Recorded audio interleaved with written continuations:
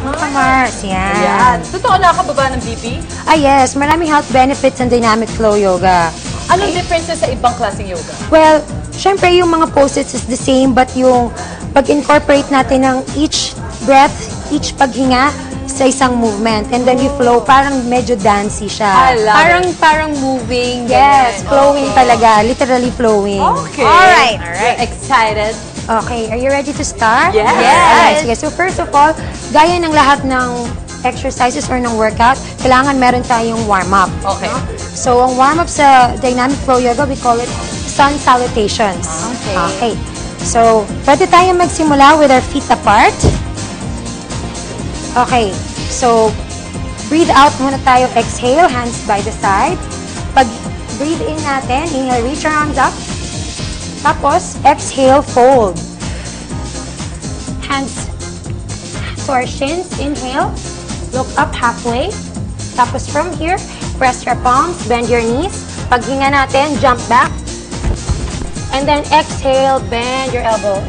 Look forward, tingin sa harap. Now from here, open your chest. Tapos itak ang toes.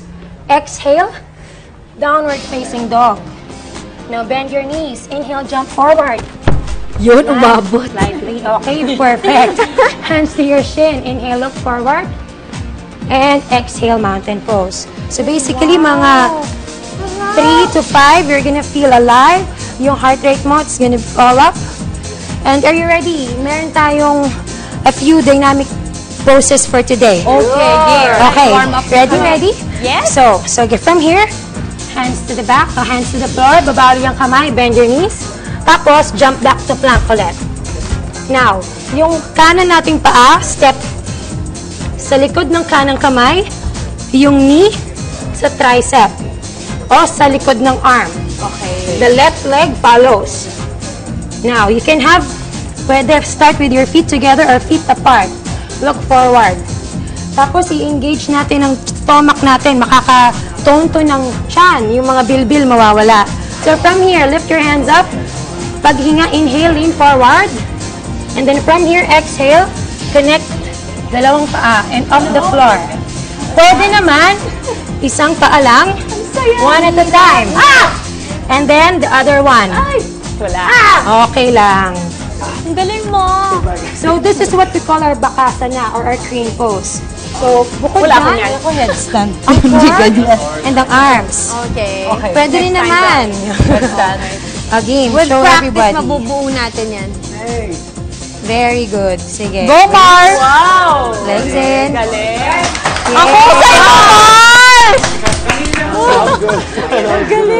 Basta ang important nagtatry. So ideally, mga you do it mga 5 to 6 times a week to improve yung flexibility and strength. Wow. Lalo na yung core, di ba? Yes. Kasi yun talaga magdadala.